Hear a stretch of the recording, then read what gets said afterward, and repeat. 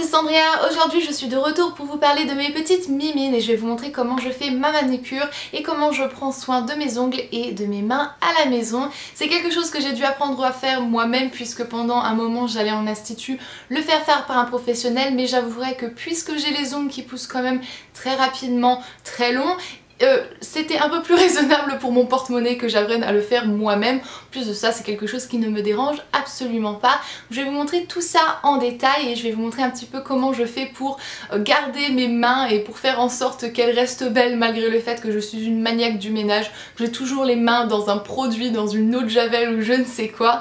Et euh, voilà, j'arrive quand même à garder les ongles assez forts, longs et beaux et euh, garder les mains qui ne sont pas complètement desséchées et toutes craquées. Donc voilà, continuez à regarder pour voir comment je fais ma manicure et ensuite je vous donnerai tous les conseils et euh, je parlerai de 2-3 petits, produits que je recommande à vraiment tout le monde.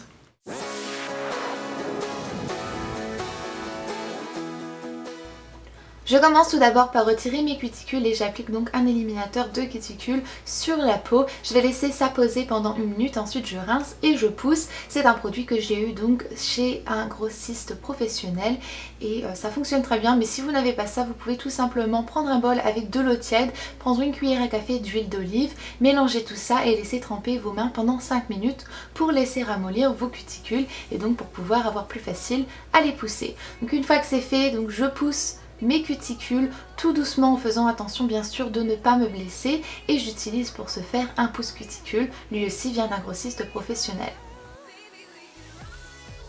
Une fois poussés, on peut plus facilement donc les attraper pour pouvoir les couper et ça je le fais donc avec un coupe cuticule qui est de la marque Tweezerman et qui est vraiment très coupant donc faire très attention lorsqu'on fait ça et le faire euh, avec délicatesse et précision en prenant son temps. Ensuite je ponce très légèrement le dessus de mes ongles puisque j'ai tendance à les raccrocher avec mon rasoir et donc à faire des petites coupures dans mes ongles, c'est génial.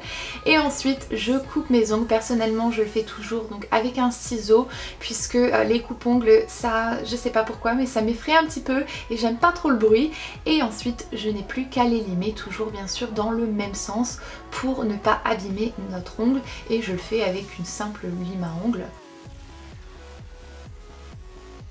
Ensuite, je ponce le euh, bord de mes ongles pour être sûr que tous les petits euh, morceaux d'ongles soient euh, détachés depuis plus d'un an, j'ai incorporé un produit en plus dans ma routine de soins des ongles et c'est tout simplement du vinaigre de cidre. Je pense que ça s'appelle du vinaigre de cidre en France. Ça se trouve tout simplement en grande surface dans le rayon vinaigre et ce produit-ci va aider tout simplement à euh, faire briller les ongles, à les fortifier, à les renforcer et en plus de ça, et c'est surtout la raison pour laquelle je l'utilise, c'est que ça aide aussi à prévenir tout ce qui est mycose des ongles, donc champignons pour les ongles et euh, toutes ces maladies-ci. Donc c'est quelque chose qui est pas mal d'incorporer dans sa routine pour être sûr de ne jamais avoir ce style de problème.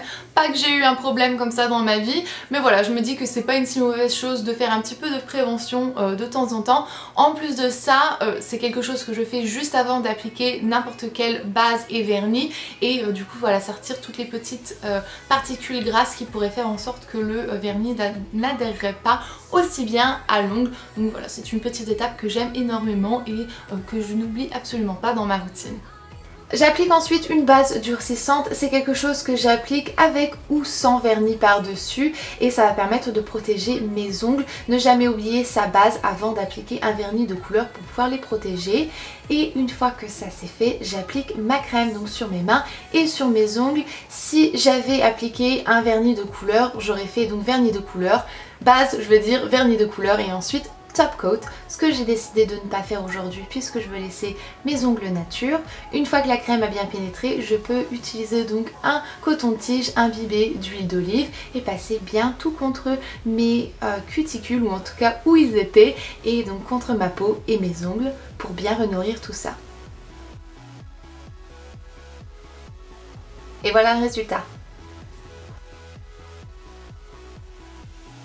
Donc voilà pour tout ce que je fais lors de ma manicure, c'est quelque chose que je fais quand même assez régulièrement, c'est-à-dire dans tous les 10 à 15 jours puisque j'ai les ongles qui poussent quand même assez vite, que j'aime vraiment avoir les ongles propres, bien euh, limés, bien euh, courts on va dire aussi puisque je ne supporte pas avoir les ongles longs et je trouve que pour moi en tout cas c'est pas hygiénique quand je suis tout le temps en train de faire le ménage dans la maison, ça me, ça me déplaît plutôt. Donc c'est quelque chose que je fais quand même assez, euh, assez régulièrement.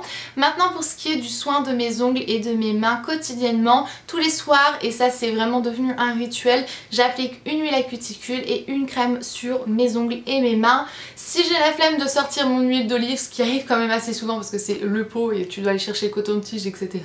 Euh, ça prend une minute de ta vie et c'est vraiment le truc le plus long et le plus embêtant du monde. Donc voilà, je prends tout simplement ma petite huile à cuticule que j'ai achetée euh, chez un grossiste professionnel et euh, je la passe vite fait comme ça sur mes cuticules et sur les peaux en fait à côté de mes ongles. Et pour ce qui est de ma crème et eh bien en ce moment j'utilise celle de l'Occitane.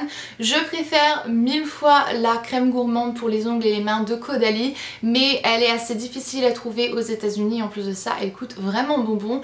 Donc en ce moment voilà j'utilise celle-ci qui est vraiment très bien aussi et euh, qui fait euh, son job pour l'hydratation de mes mains et les nourrir en plus de ça.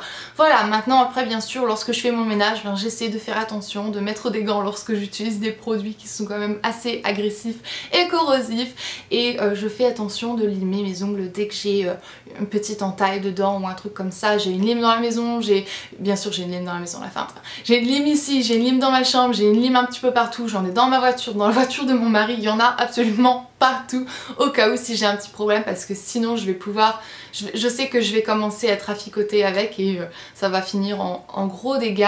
Maintenant une autre chose que je vais vous recommander c'est d'essayer de faire attention de laisser un petit peu respirer vos ongles et laisser tranquille de temps en temps pas appliquer continuellement du vernis c'est ce que j'ai fait pendant très très longtemps et c'est pas toujours une très bonne chose d'avoir 6 couches de vernis qui étouffent complètement l'ongle donc voilà moi je vous conseille de temps en temps de les laisser respirer de les laisser naturels un petit peu à la limite faire comme moi d'appliquer donc une petite couche de euh, durcisseur pour euh, un petit peu les renforcer, les faire briller et qu'ils soient quand même assez jolis et qu'ils restent quand même euh, faits on va dire mais les laisser un peu plus respirer. En plus de ça, bah, passer du vernis dessus et ensuite retirer avec du dissolvant etc ça les sensibilise aussi. Donc c'est pas une très bonne chose si on veut essayer de garder ses ongles en bonne santé. Et au fait pendant que j'y pense puisque je sais que c'est quelque chose que vous risquerez de me demander le dissolvant que j'utilise personnellement c'est celui de Bourjois donc c'est le dissolvant miraculeux. C'est Elsa qui m'a rendu accro à ce produit-ci. Elle me l'a envoyé lors de notre swap de l'année dernière toujours la même bouteille.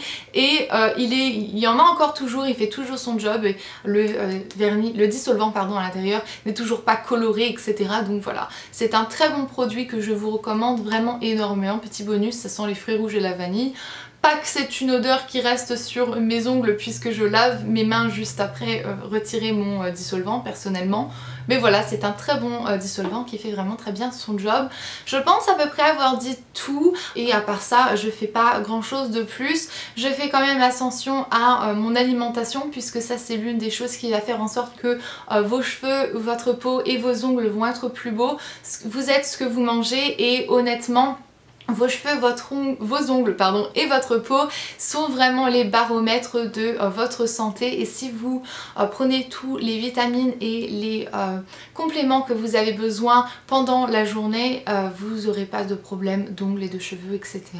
C'est vraiment quelque chose qu'il faut faire attention de, de faire, de bien avoir une alimentation riche et équilibrée pour avoir des beaux cheveux, une belle peau et des beaux ongles. C'est quelque chose que j'ai déjà dit dans ma vidéo sur comment faire pour avoir des beaux ongles longs et forts, je ne sais plus. Elle date de très longtemps, j'aurais listé en partie plus d'informations si vous voulez plus d'infos sur le sujet, mais voilà, je tenais quand même à le repréciser dans cette vidéo puisque c'est quand même, on va dire, la base. Donc euh, bon, je pense que c'était tout pour euh, cette vidéo. Je vous fais d'énormes bisous, merci d'être resté jusqu'à la fin et jusqu'à une prochaine vidéo comme d'habitude pour les de vous-même. Bye